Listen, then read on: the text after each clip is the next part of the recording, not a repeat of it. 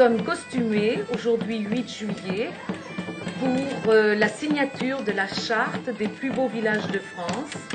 Aiguez a donc été nommé en 2005 le premier village du Gard dans les plus beaux villages de France et le seul en 2005. Donc la signature de la charte en présence du préfet et de beaucoup de personnalités se passe ce soir à 19h. Alors les points forts de la journée, c'est un défilé ouvert avec six cavaliers, bien sûr costumés, deux troupes de musiciens médiévaux et 200 personnes costumées. Pour un village de 240 habitants, il y a 200 personnes costumées.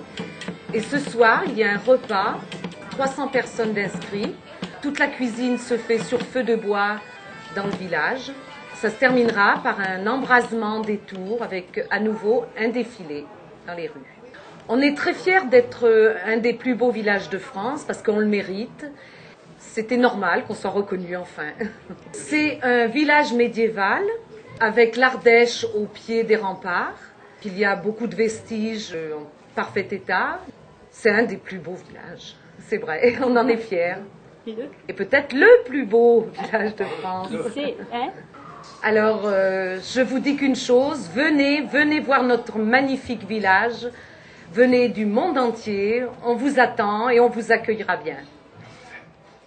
Alors toute, euh, la population s'est retrouvée en s'additionnant, on a additionné toutes les compétences des uns et des autres pour arriver à faire une fête médiévale qui rassemble tout le monde à l'occasion de la signature de la charte officielle des plus beaux villages de France.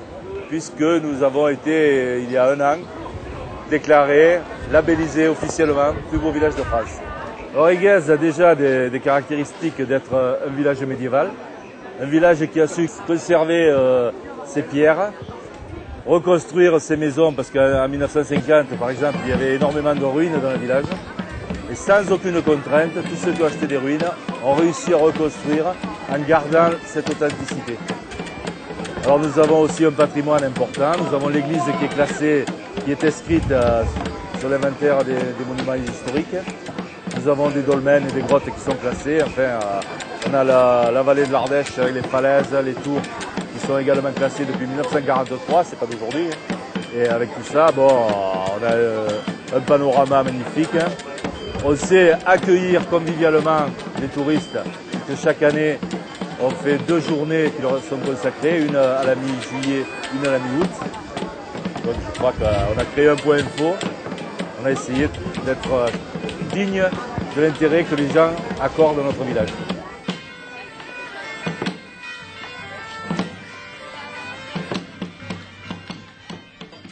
Alors, en ce moment, nous avons 200 habitants permanents.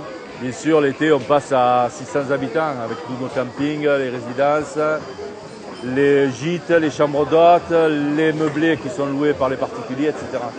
au début, il y en a beaucoup qui se sont dit ça va nous servir à rien.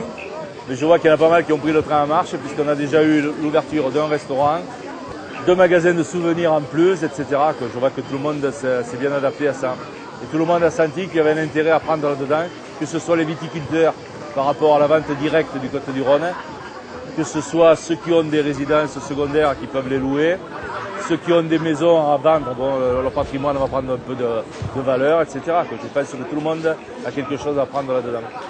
Alors notre souhait, c'est ce que je dirais ce soir devant le préfet, devant le représentant du conseil général et du conseil régional, c'est qu'on nous aide, nous, petites communes qui avons un intérêt patrimonial qui dépasse nos frontières, qui dépasse même les frontières de la France et qui sont de qualité européenne, qu'on nous aide à défendre notre petit patrimoine. Parce que ce n'est pas 200 petits contribuables qui vont pouvoir entretenir, développer tous les atouts que nous avons. Alors il y a un patrimoine historique également, mais le patrimoine historique, il est difficile à retrouver parce qu'on n'a pas d'archives ou très peu.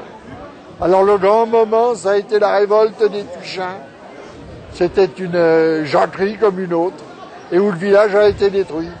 Il faut penser qu'avant la révolte des Tuchins, le village comportait 500 hommes d'armes et à peu près 3000 habitants. Et qu'après la reconquête par le roi de France, il y avait neuf foyers. Et Guez ne s'est jamais remis de ça. Maintenant, on est 200 au lieu de 3000. Ah ben, l'avenir des Guèzes, c'est un avenir brillant dans la mesure où les gens se prendront par la main pour le faire, cet avenir. Hein, ça fait 20 ans que ça commence à bouger un peu. On a restauré pas mal de choses. Les estivants qui sont venus s'installer à Iguez ont refait leur maison. On a refait les peintures de l'église. Il y a beaucoup de choses encore à faire. Ce qu'il faut, c'est garder le côté médiéval du village.